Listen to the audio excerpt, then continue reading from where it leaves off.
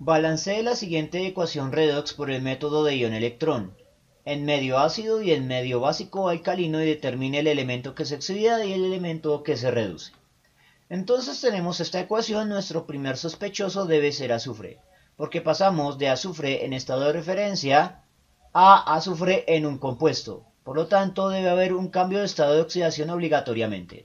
Eso me permite dividir la ecuación en dos semireacciones, una para el azufre otra para el nitrógeno o el oxígeno. En la segunda semireacción, el oxígeno está en un grupo aniónico que procede de una sal oxoácida o de un ácido oxoácido.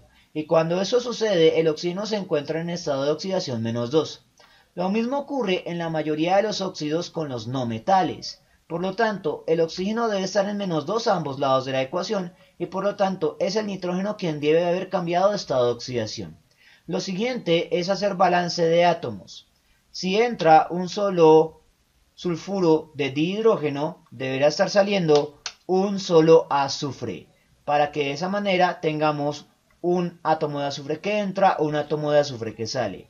Si entra un solo grupo nitrato, deberá salir un solo monóxido de nitrógeno, de forma tal que un solo nitrógeno que entra y un solo nitrógeno que salga estén en balance. Ahora vamos a identificar los estados de oxidación. Entonces, habíamos dicho que este azufre se encuentra en estado de oxidación de referencia o cero, mientras que el azufre en un sulfuro, como en el sulfuro de hidrógeno, siempre se encuentra en su estado de oxidación menos 2 porque hay dos protones, cada protón otorga una carga positiva, por lo tanto el azufre debe tener dos cargas negativas para tener balance. En la siguiente, nitrógeno. El nitrógeno debe encontrarse en un estado de oxidación positivo porque se encuentra en un óxido. Adicionalmente debe estar en más 2 para balancear las dos cargas negativas del oxígeno.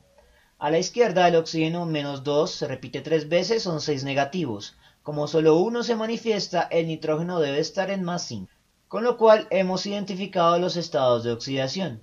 Lo que sigue es hacer el balance de carga calculando, calculando el número estequiométrico de los electrones para cada semireacción. Voy a comenzar con la semireacción 1 que voy a llamar R1 por comodidad. El número estequiométrico del azufre allí es 0, por lo tanto los demás términos no importan. Coloco negativo. Allí el número de carga es menos 2. Mientras que el número estequiométrico y el subíndice del azufre son 1. Como un 1 en multiplicaciones lo puedo ignorar, entonces allí termina y opero. Menos por menos da más, así que el resultado es 2, positivo. Un número estequiométrico positivo implica que la partícula a la cual se encuentra asociado se encuentra al lado de los productos, y electrones produciéndose es igual a electrones perdiéndose. Por lo tanto, esto es la semireacción de oxidación. Ahora vamos a hacer el cálculo homólogo para la semireacción 2. Me ubico a la derecha de la flecha de reacción, número de carga 2 positivo, número estequiométrico 1, subíndice 1 los puedo ignorar. Coloco negativo, me ubico a la izquierda, número de carga 5 positivo. Número estequiométrico 1, subíndice 1 los puedo ignorar. Por lo tanto, opero 2 menos 5 es igual a menos 3. Un número estequiométrico negativo implica que la partícula a la cual se encuentra asociado se ubica al lado de los reactivos. Electrones reactivos es igual a electrones absorbiéndose. Y eso es una definición de reducción. Por lo tanto, podemos concluir que el azufre se está oxidando, mientras que el nitrógeno se está reduciendo. Hecho esto, debemos encontrar el balance de carga.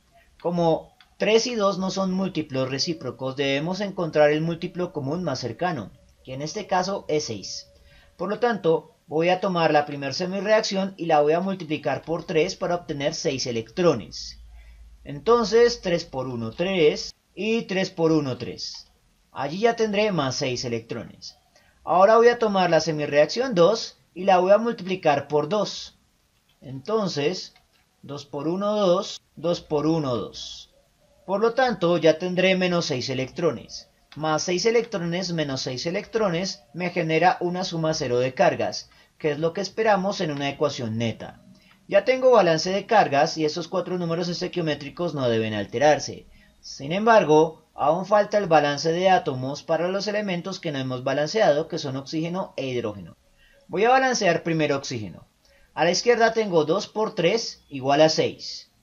A la izquierda tengo 2 por 1 igual a 2. Entonces tengo desbalance de oxígenos, para lo cual voy a sumar aguas. La cantidad de aguas es igual a la diferencia de oxígenos. Entonces, 6 menos 2 es igual a 4. Por lo tanto, esos 4 oxígenos que quedaron volando los voy a adicionar como aguas. Ahora, a la derecha tengo 4 por 2 igual a 8.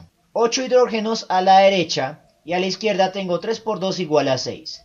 La diferencia entre ambos son dos hidrógenos que voy a adicionar como dos protones ácidos para lograr el balance de átomos. Y como adicioné protones ácidos, entonces esto es el balance en medio ácido. Para obtener el balance en medio alcalino tomo esta semireacción, miro cuántos protones ácidos hay. Como hay dos protones, voy a sumar dos hidróxidos a ambos lados de la ecuación. A la derecha pues se manifiestan los dos hidróxidos sin problema, pero a la izquierda dos protones más dos hidróxidos me van a generar dos aguas. Ahora tengo dos aguas que se repiten a ambos lados de la ecuación, por lo tanto deben cancelarse. Con lo cual llegamos al balanceo en medio básico a partir del balanceo en medio ácido por ion electrón. Bien, eso fue todo por el momento. En la descripción del video voy a dejar enlaces a más ejercicios de química general, así como enlaces a los aspectos teóricos de estos conceptos. Si les gustó el video no olviden suscribirse, darle like y especialmente compartirlo.